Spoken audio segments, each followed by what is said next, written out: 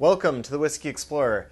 Thanks so much for tuning in, guys. And if this is your first time on the channel, if you could please just a quick favor, hit that subscribe button, hit the like button, and leave a comment down below. That way you help grow the community here at the Whisky Explorer. And tonight we've got a craft distillery review coming for you guys. We've got Boulder Spirits Straight Bourbon Whiskey.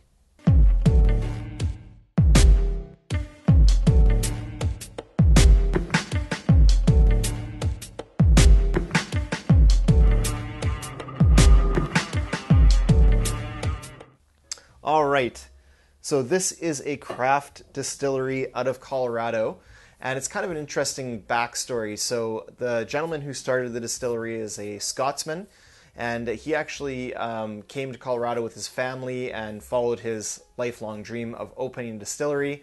And he actually sourced a very large copper pot still for this um, venture because um, he actually wanted to make single malt as well as bourbon and the type of still that he's using is a Fortis uh, still. Um, so it's actually a thousand gallon still. So it's actually the largest in the state of Colorado. So that's kind of a calling card for the distillery. Um, so using that pot still method, you're able to get different flavors out of the bourbon and single malts.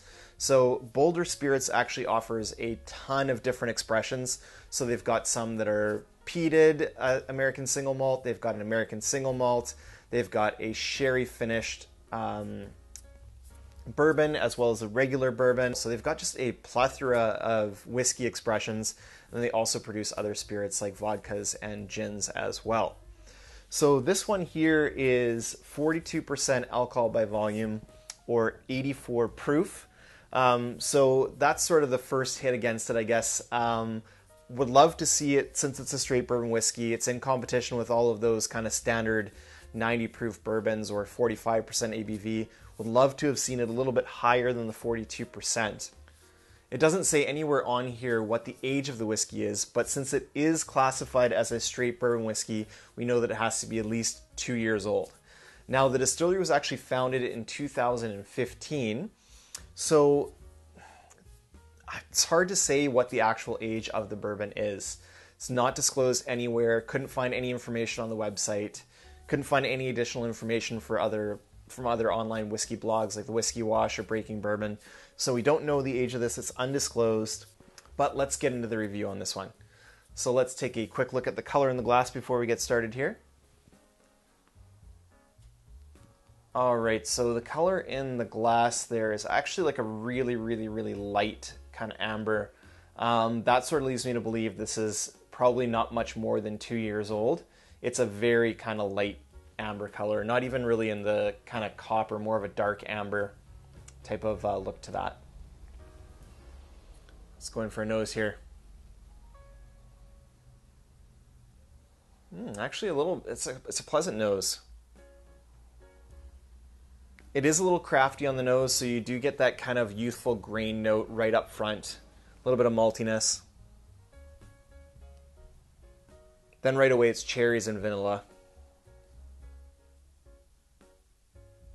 There is a wood note on here, but it's not like the nice sweet oak uh, wood note that I'd hope to get. It's more of like an astringent kind of dry wood.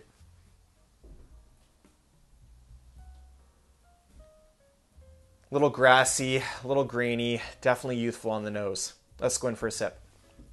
Cheers.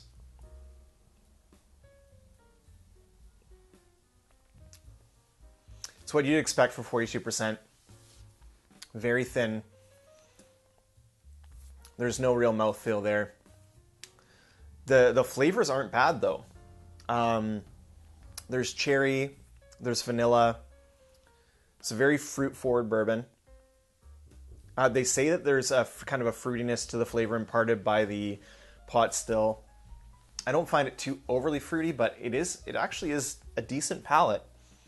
Um, yeah, cherries, vanilla. This has opened up a little bit. When I first got it, it was much more craft tasting. Could taste much more of the youth.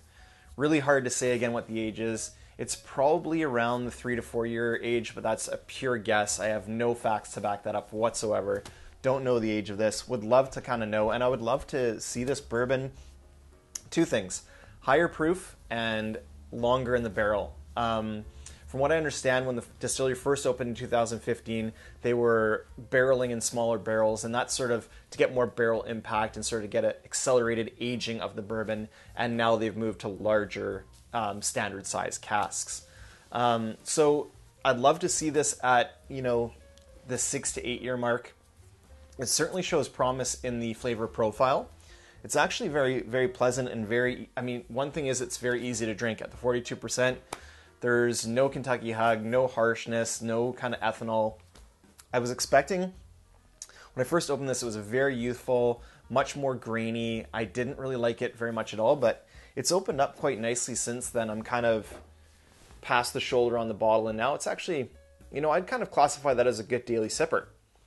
Now let's talk price point on this. Let's talk turkey. All right, in the states, this is going to run you forty-five to fifty dollars on the shelf. Um, tough at that price point, I'd have to say. There's just so many bourbons out there that compete that I think kind of run circles around this one. You know, for a craft distillery, I know you always got to pay a little bit more for craft, but here in our parts, this isn't even in the British Columbia market. My brother actually picked this up for me in Alberta, so thanks so much, James, for the hookup on this bottle. Um, and in that market, it's 75 Canadian. So, kind of $80 out the door. That's a tough price point to swallow when there's just so much available at that price point. And that'll pretty much sum it up for the Boulder Spirits Straight Bourbon Whiskey.